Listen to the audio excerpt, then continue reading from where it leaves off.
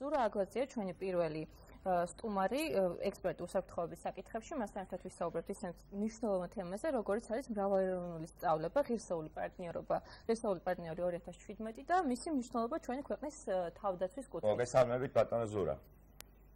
მოგესალმებით, მე ვესალმებით ჩვენს მაყურებელს. ბატონო ზურა, მოგესალმებით და ვისაუბროთ ალბათ ყველაზე მთავარი ღირსეული პარტნიორი 2017 ამ პროექტის მნიშვნელობა ჩვენი ქვეყნის თავდაცვის კუთხით. როგორც ვიცით, უკვე მესამე წელია ეს პროექტი ხორციელდება, მაგრამ წელს არის უფრო მასშტაბური, ვიდრე იყო თქვა დასაწყისში. აა მოგესალმებით, რა თქმა უნდა, უნიშნულოვანესი მოვლენაა ეს საქართველოსთვის და მინდა ხაზი გაუსვა იმას, რომ ეს არ არის ერთჯერადი ეს თანმიმდევრული პოლიტიკის ნაწილი იყო რომელიც ჩვენი პარტნიორის მიერ ჩვენი პლან ხორციელდება და თუ დავაკვირდებით ქრონოლოგიას სამხედრო სწავლებების ყოველთვის იზრდება. მე მახსოვს როდესაც იყო დრო როდესაც 1.20-ული ჩამოდიოდა ქვეითების და ხა ჩვენ უკვე არა მარტო 20-ული გაცილებით დიდ მასშტაბებზე და საბრძოლო ტექნიკის გადმოსავალზე გვაქვს საქართველოსში საუბარი ერთობები დინამიურად ვითარდება ეს ძალიან მნიშვნელოვანი არის ჩვენი უსაფრთხოებისთვის.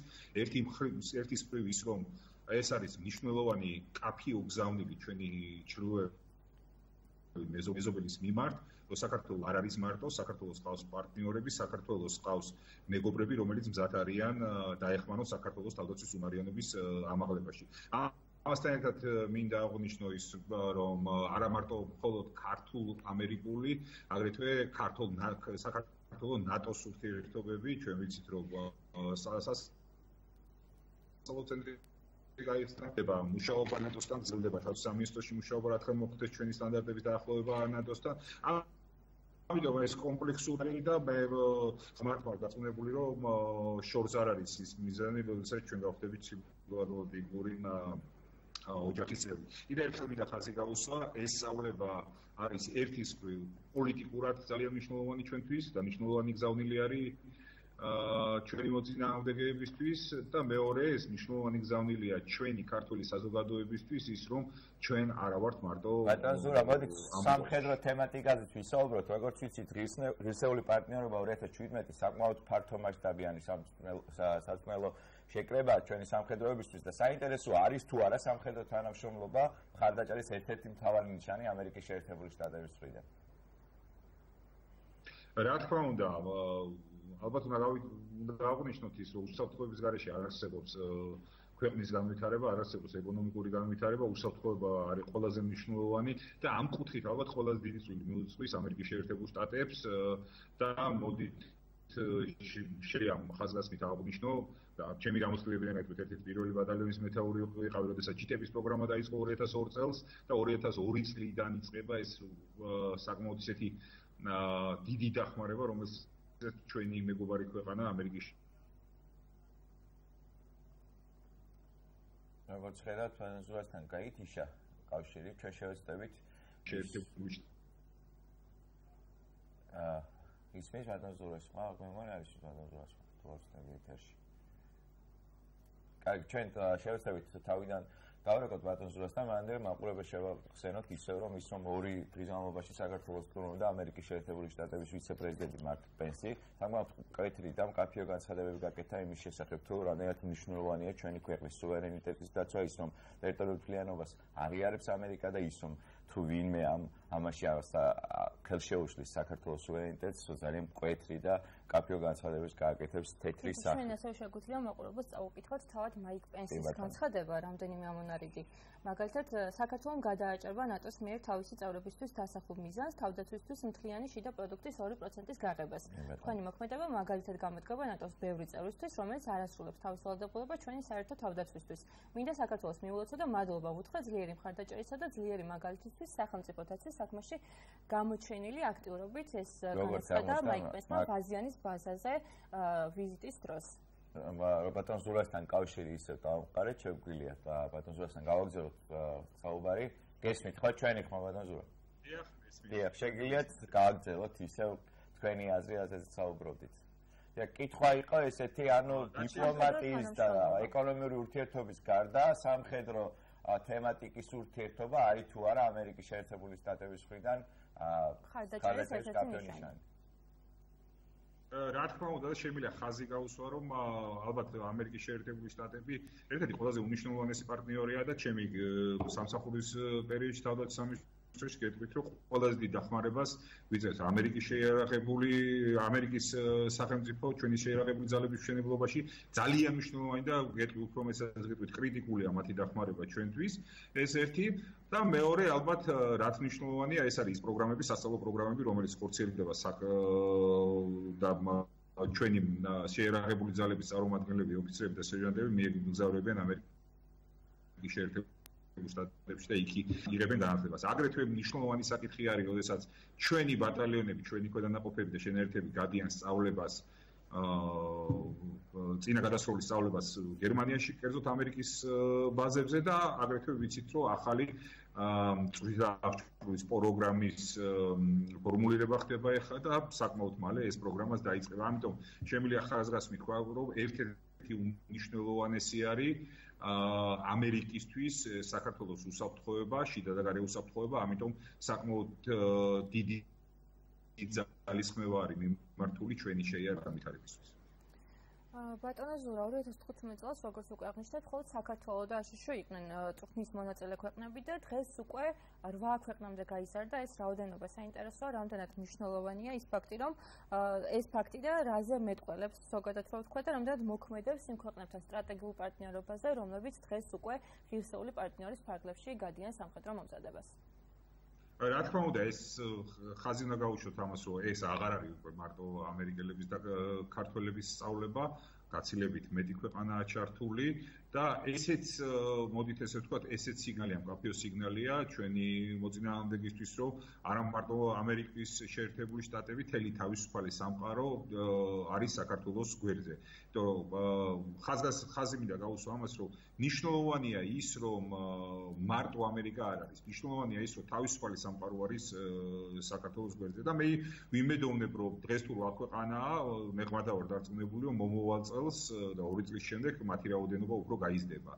და რა თქმა უნდა, ამერიკასთან ძალიან მნიშვნელოვანია ჩვენი ურთიერთობა უსაფრთხოების საკითხებში, მაგრამ არანაკლებად მნიშვნელოვანია ჩვენ პარტნიორებთან, ევროპის სხვა ქვეყნებთანაც ურთიერთობა თავდაცვის და უსაფრთხოების საკითხებში. რაც ამ შემთხვევაში გამოხატულია ამ ადამიანების და შეერაღებული ძალების ყოფნით ამ სწავლებაში. გადასვა როგორც მაგდა მაქსენა ამ თმასი ღირსეული პარტნიორობა 2017 მონაწილეობს რა ქვეყანა რამდენად უწყობს ეს ქართული ჯარის განვითარებას და თავსებადობას ნატოს ჯართან და ეს ხომ არ არის სიგნალი იმის რომ უკვე მოგვეცა იმის შანსი რომ უფრო მჭიდროდ ვითანამშრომლოთ ნატოს ჯარებთან და რაღაც ნიშნები არის იმის რომ შეიძლება მალე გავხდეთ ნატოს წევრი ქვეყანა. აა მე გამიჭირდება თავსებადობის თვალსაზრისით ჩვენი ჯარი უკვე შეიძლება იყოს მზად იმისთვის რომ ნატოს ჯარებთან ერთად გვერდი გვერდი მზოლოს.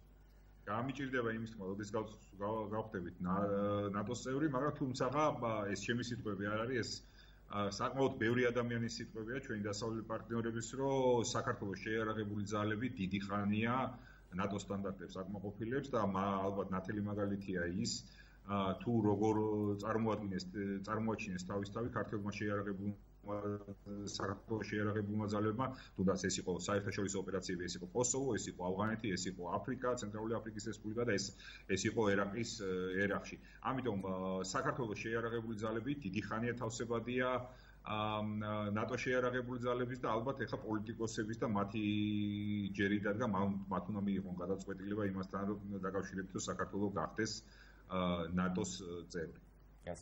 აა ერთ-ერთი მაიკ პენსის ვიზიტის ფარგლებში ერთ-ერთი მნიშვნელოვანი თემა, რომელიც იყო განხილული არის რუსეთის წინააღმდეგ სანქციები და ის სანქციები, რომელიც ამერიკამ რუსეთის წინააღმდეგ დააწესა, არის თუ არა ესე ვთქვათ, ვიწროდ რუსეთ-ამერიკის ურთიერთობების გამოძახილი და ასრულებს თუ არა საქართველოს სტრატეგიული მნიშვნელობის მქონე ობიექტის როლს ამ შემთხვევაში. რა არის ით ამ შემთხვევაში რაც შეეხება ამ გავეცანი კერძოდ ამ სანქციების პაკეტი და განცხადება რაც იყო ამერიკის შეერთებული შტატების მიერ რა თქმა უნდა საქართველოს მოხსენიებული არის ამ დოკუმენტში მაგრამ არ ვფიქრობ რომ მარტო საქართველოსზე არის ეს ალბათ მთლიანი კონტექსტი რუსეთის ქმედებები ამ ბოლო პერიოდში ეს იქნება თუნდაც უკრაინას, საქართველოს, სირიაში რა სირიაში რა ქმედებიც განახორციელა, ამის გამოძახილი უფრო არის. ალბათ ყველამ ვიცით, რომ პრინციპულად შეუთანხმებელია, რომ ამ ორი სახელმწიფოს პოზიციები ერთმანეთთან, ერთი არის თავისუფალი სამყაროს ფლაგმანი, ხოლო მეორე, მოდით ესე ვთქვათ, უხეში ძალა, რომელიც რომელიც მეზობ პატარა მეზობლებსაც არინდობს. ამიტომ პრინციპულად შეუთანხმებელია მათი პოზიციები და რა თქმა უნდა, საქართველოს ერთ-ერთი ფაქტორი არის მათ ურთიერთობებში შეიძლება ეს არ იყოს გადამწყვეტი ფაქტორი შეიძლება არ იყოს ყველაზე მნიშვნელოვანი ფაქტორი თუმცა ეს ერთ-ერთი ფაქტორია იქიდან გამომდინარე რომ ჩვენი რეგიონი თამაშობს მნიშვნელოვან როლს ორივე ქვეყნის საგარეო პოლიტიკაში მე ვამ შავი ზღვის რეგიონი და კერძოდ კავკასია. თუნდაც იმის გამო რომ ენერგომატარებლების სატრანზიტო დერეფინები გადის ამ ტერიტორიაზე საქართველოს ჩვენს რეგიონში მოდით ესე ვთქვათ უმნიშვნელოვანესი ქვეყანაა გეოგრაფიულად ალბათ ყველაზე მნიშვნელოვანი ქვეყანა ამ რეგიონში და ამის გამო ეს არის იმის გამოძახილი უბრალოდ რომ საქართველოს არის ერთ-ერთი მოდით ესე ვთქვათ უთანხმოების საკითხი ამ ორ სახელმწიფოს შორის. ბატონო, გავაგზავნოთ ერთ-ერთი, მაგრამ ერთ-ერთი მნიშვნელოვანი საკითხი. გავაგზავნოთ რუსეთ-საქართველოს ურთიერთობაზე და პლუს ამერიკის ურთიერთობაზე საუბარი. ჩვენ როგორც ვიცით, თელი ტექნიკა, რაც დღეს წვნაში მონაწილეობს, ჩამოვიდა ფოთის სპორტში და მთელი საქართველოს გამოიარა სანამ ვაზიანის სამხედრო ბაზაზე არ დაბანაკდებოდა და ძალიან ახლოს ჩაიარა საოკუპაციო ხაზთან. ხო არ იყო ეს ეს გზავნილი რუსეთის აგრესიის წინააღმდეგ ის რომ საქართველოს არ არის მარტო რომ საქართველოს შეცევს ძალა იმისა რომ გასცეს ადეკვატური პასუხი სოციალ აგრესიას აა მოდით ესე გეტყვით სიმბოლიკა. ყოველთვის არის და ესეც ალბათ სიმბოლური იყო თუნდაც იმ ცენტრალურ მაგისტრალზე გაიარეს სადაც საკმაოდ ახლოს არის ეგრეთ წოდებული საზღვარი და სადაც რუსის მესაზღვრეები დგან ალბათ ამაში არის სიმბოლიკა და ეს ძალიან კარგი სიმბოლიკაა და მეორე მინდა ხაზი გაუსვა ვიცე-პრეზიდენტის განცხადებას როდესაც ის შეეხო ტერიტორიულ მთლიანობაზე ისაუბრა და აგრეთვე ისაუბრა აა იმ შემთხვევაში თუ აგრესია მოხდა რომ საქართველოს მარტო არ არის და კერძო ტრამპის ადმინისტრაცია მზად არის დაიცვას საქართველოს და დაეხმაროს ყველაფერში. ალბათ აი ეს ორი ფაქტორი განაპირობებს იმას, რომ აა შეუქცევადი პროცესია საქართველოს ამერიკის ურთიერთობა ეს უკვე შეუქცევადი პროცესია და ალბათ თulis რომ დამთავრდება წვნები და ეს ტექნიკა დატოვებს საქართველოს უფრო კაფიოთ ველოდოთ რუსეთის მხრიდან გამკაცებულ აქ სანქციებს თუნდაც ხაზის უფრო გადმოწევას და პროვოკაციულ ქმედებს და თუ კი მართლა მოხდა ასეთი რაღაც აი ამ შემთხვევაში როგორ იქნება აშშ-ის პოზიცია ესეც საინტერესოა ამ შემთხვევაში ალბათ პოლიტიკურად გაეცემა პასუხი რუსეთს, ალბათ იმის ილუზია არავის არ გვაწუთებს, რომ რაღაც შეერაღებული დაპირისპირება დაიწყება და ეს არც არავის არ უნდა გვინდოდეს მით უმეტეს ჩვენ. ალბათ პოლიტიკური პოლიტიკურად გაეცემა პასუხი, რაც შეეხება რუსების ქმედებებს, ჩვენ ვაკვირდებით ბოლო არ ვიცი, დამოუკიდებლობის პერიოდში, ჩვენ დამოუკიდებლობის პერიოდში, რუსეთთან ნებისმიერი საუბარი ეს იქნება დაბალი ტონით, მაღალი ტონით, ნებისმიერი ტონით. დღეს კრემლში გაკეთდა განცხადება, პესკოვმა გაკეთა განცხადება ეს რუსეთის უკრაინის წარმომადგენელმა, რომ მათ არანაირი გაღიზიანება არ აქვს იმის შესახებ, რომ საქართველოს ჩამოვიდა ამერიკის ვიცე-პრეზიდენტი, ესე განაცხადა, რომ ეს სუვერენული ქვეყნის გადასაწყვეტია, ვინ ჩავა მათთან სტუმრად. აი თქვენ ხო არ ფიქრობთ, რომ ეს მაინც შეფარული რაღაც მათი პოზიციაა და შეიძლება სხვანაირად იმოქმედნენ დღეს ან ხვალ? შესაძლებელია მათი მოდით ესე რუსულ ანდაზას გავიხსენებ რასიუმო ნიპანიაჭო არ ვიცი მას თავში რა ტრიალებს არ ვიცი გასაპირებად მაგრამ ერთია რომ სრულად ვეთახმები პესკო შეიძლება სხვა რამეში არ ვეთახმებოდე ბევრ რამეში მაგრამ იმაში რომ ეს არის ჩვენი სრული ჩვენი უფლება იმიტომ რომ დამოუკიდებელი სახელმწიფო ვართ ჩვენი მეგობარი ქვეყნის ვიცე-პრეზიდენტი ჩამოდის საქართველოში და ეხა იწევს თუ არ იწევს რუსეთში გაღიზიანებას ეს ყველაფერი ჩვენ ალბათ ნაკლებად უნდა გვადარდებოს. რა ნაბიჯებს გადადგავს რუსეთი და რას გააკეთებს ძნელია ამაზე საუბარი, თუმცა ალბათ მათი პოლიტიკა არ იცვლება და ალბათ გააგრძელებენ პოლიტიკას რაც აქამდე ქონდათ. ძალიან დიდი მადლობა ბატონ ზურა მიყავით ჩვენი სტუმარი. ზურა აგლაძე ექსპერტი უსაფრთხოების საკითხებში იყო ჩვენი სტუმარი. კარგად წანდებოდეთ, დიდი მადლობა მოწესრიგებლად. ჩვენ ვაგრძელებთ თემას. და გიორგი ხატიაშვილია ჩვენი სტუმარი, საერთაშორისო ურთიერთობის სპეციალისტი. მოგესალმებით, ბატონ გიორგი. მოგესალმებით, მადლობა მოწვევით. მადლობა თქვენ. რა გიორგი, მოგესალმებით საზოგადოების მხრიდან, პოლიტიკური ელიტის მხრიდან. მოლოდინი ამ ვიზიტისა იყო ძალიან მაღალი. საინტერესო წინასწარი ვარაუდებით რო ვთქვათ, რა შედეგების მომტანი შეიძლება იყოს და რამდენად მნიშვნელოვანი იყო ჩვენი ქვეყნისთვის აშშ-ის ვიცე-პრეზიდენტის ვიზიტი.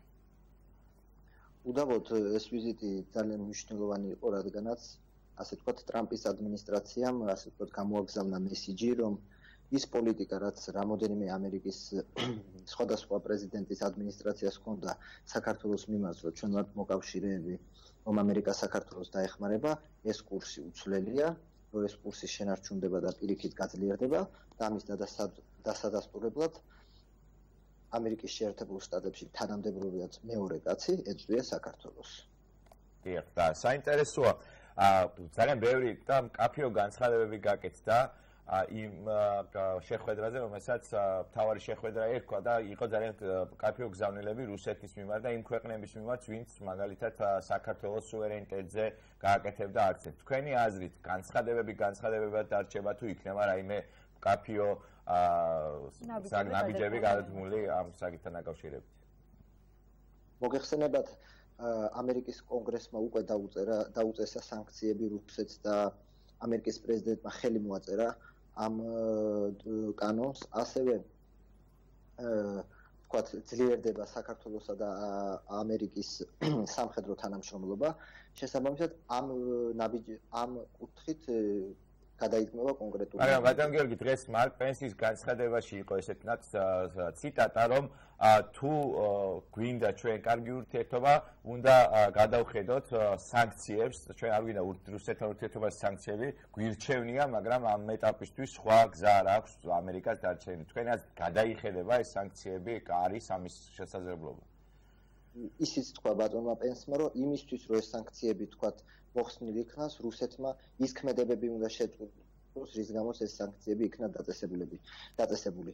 არავის არ უნდა გქონდეს ილუზია არავითარ შემთხვევაში რუსეთი არც ერთ ამ ქმედებას არ შეცვლის პირიქით მოგეხსენებათ პუტინმა გამოაცხადა რომ ამ სანქციების საპასუხოდ ამერიკის შეერთებული შტატების საელჩოს პერსონალი შემცირდება რუსეთში შესაბამისად არ შეიცვლება და სანქციები დარჩება ადგილას. რაც შეეხება იმას სანქციების გარდა და თქვა სამხედრო თანამშრომლობის გარდა თუ უნდა ვებოდეთ უფრო ქმედით ნაბიჯებს, მოგეხსენებათ ჩვენ ნატოს წევრი არა ვართ, ჩვენ არ უნდა გქონდეს იმის იმედი, რაც რის იმედიც ბალტიის წევრ სახელმწიფოებს ჰქონდათ, როდესაც პირდაპირ უთხრა ამერიკის ვიცე-პრეზიდენტმა, რომ თქვენზე თავდასხმა ნიშნავს ჩვენზე თავდასხმას. ამ გარანტიებს ამერიკის შეერთებული შტატები ჩვენ ნატოს არაწევრ ქვეყანას ვერ მოგცემს, უბრალოდ გარდა იმისა, რომ ნატოს არაწევრი ქვეყანა ვართ, ჩვენ არა გვაქვს ამერიკასთან თქვა ისეთი სამოკავშირეო ხელშეკრულება, როგორც აქვს თქვა იაპონიას ან სამხრეთ კორეას.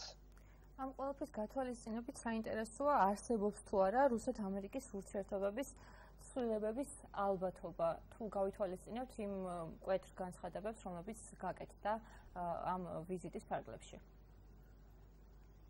ზოგადად ტრამპის გაპრეზიდენტების შემდეგ იყო მოლოდინი იმისა, რომ ის კონფრონტაციული პოლიტიკა თქვათ შეიცვლებოდა, ვინაიდან ახალი კაცი მოვიდა თეთრ სახლში და იყო მით უმეტეს ძალიან ბევრი სპეკულაცია თუ როგორ გამოიმარჯვა დონალდ ტრამპა, რა იყო აქ რუსეთის წილი ამ გამარჯვებაში და შესაბამისად აპირებდა თუ არა რუსე ტრამპი უფრო რბილი პოლიტიკის გატარებას.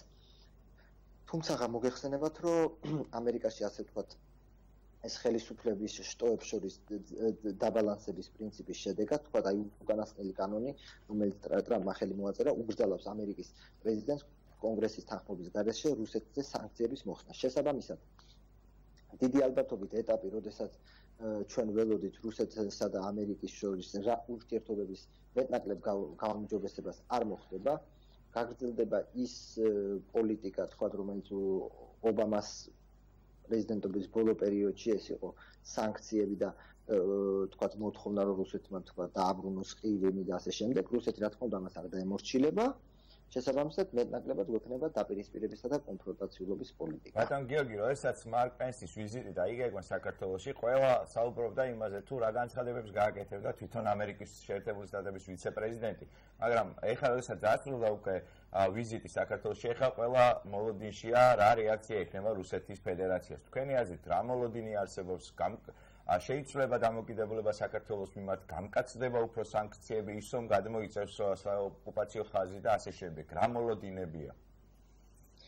თავად ვიცე-პრეზიდენტის ვიზიტიც ძალიან მნიშვნელოვანია. თუ იმ სამ ქვეყანას გადავხედავთ, რომელსაც ეს არის ესტონეთი, თქო ბალტიისპირეთიდან, საქართველოს და შემდეგ ის გაემგზავრება მონტენეგროში, ქვეყანა, რომელიც სულ ახლახანს გახდა ნატოს წევრი. შესაბამისად, ესე ძალიან სიმბოლურია, რომ ამ სამ ქვეყანაში ჩვენ მოვხდით.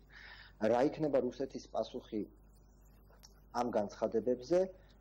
აქ ორი ვარიანტი არსებობს. ერთი, რომ თქვა, ჭყალებში გაატაროს რუსეთმა მაიკ პენსის განცხადებები და არანაირი თქვათ ნაბიჯი არ გადადგას და მეორე, რომ ასე თქვათ დატესტოს ამერიკის მზაობა თავის სიტყვების საქმით გაამყაროს. ანუ შესაბამისად თუ მაიკ პენსი ამბობს რომ ჩვენ საქართველოს დავითავთ ან საქართველოს გვერდით ვიდგებით, შეიძლება რუსეთი წამოვიდეს უფრო დიდ დიდ პროვოკაციებზე ინგლისობა ასევე საზღვრის გადმოწევა. მაგრამ გიორგი, ჩვენ წინა სტუმართან ვისაუბრეთ კრემლის ერთ-ერთი წარმომადგენელი პესკოვის განცხადებით, მათ არ მიაჩნიათ სერიოზულად ის, რომ ჩაერიონ საქართველოს საგარეო პოლიტიკაში ის რომ ვინ ესწრება საქართველოს ეს სუვერენული საქართველოს გადასაწყვეტია. მაგრამ ჩვენ ესე ვნახეთ ამერიკის საელჩოს მიმართ რუსეთის ფედერაციაში დისკრედიტირებული საქციელები ის რომ რამოდენიმე თანამშრომელს საელჩოსა უთხეს რომ 72 საათში უნდა დაეტოვებიათ თავის სამსახური და საცხოვრებელი სახლი. ხომ არ არის ეს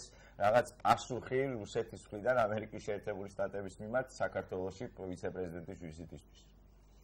საერთო საკითხი უფრო პასუხია იმ სანქციებზე, რომელიც კონგრესმა მიიღო და პრეზიდენტმა ხელი მოაწერა. რაც შეეხება პესკოვის განცხადებას, ეს უფრო არის შაბლონური განცხადება რუსული დიპლომატიის, როდესაც ერთ ამბობენ და მეორეს აკეთებენ. შესაბამისად, ჩვენ არ უნდა ვივარაუდოთ, რომ რუსეთი გაატარებს ამ ვიზიტს, მით უმეტეს ამ ვიზიტს მოყვა ამერიკული სამხედრო ტექნიკის თქვა შემოყვანა წვრთნების პერიოდში შესაბამისად რა თქმა უნდა რუსეთი რაღაცა საპასუხო გეგმებისთვის ემზადება. როგორ რა ფორმით და რა მასშტაბით გამოიხატება ეს საპასუხო გეგმები ამას ვერავინ გეტყვით ზუსტად. ბატონო გიორგი, ოპოზიციის განცხადება იყო საინტერესო ამ შემთხვევაში, მათ თქვეს, რომ ჯავშან ტრანსპორტიორების გატარება, ეგრეთ წოდებულ საოკუპაციო ხაზთან, ეს იყო პირდაპირ პროვოკაცია. საინტერესო, რამდენად ესე ვთქვათ ადეკვატურია ეს განცხადება და ეს შეფასება. ცით ეს ოპოზიციაში უკაცრავად არ არ წამიკითხავს ეს განცხადება. კარტონინო ბურგარაძის განცხადება იყო ეს. გასაგებია. ეს ჩემი აზრით ეს არ იყო პროვოკაცია, იმიტომ რომ პროვოკაციის დროს შენ რაღაცა ქმედებას აკეთებ, რომ ოპონენტი წამოაგო და მე თქვა რაღაცა ამითი გამოიწვიო. ეს თქვა სამხედრო ტექნიკის გატარება იყო უბრალოდ თქვათ იმის დემონსტრირება რომ თქვათ ამერიკა ჩვენ გვერდით დგას იმის დემონსტრირება რომ აქეთ ხარეს სამხედრო ძალა. ამავე ლოგიკით ის რომ თქვათ როდესაც ჩრდილოეთ კორეა იმუქრება ბალისტიკური რაკეტის გაშვებით და თქვათ ამერიკული სამხედრო თვითფრინავები დაფრინავენ დაბალ სიმაღლეზე სამხედრო თვითფრინავებთან ერთად სამხრეთ კორეის ცის გარშემო ესეც შეიძლება თქვა პროვოკაციად შეფასდეს.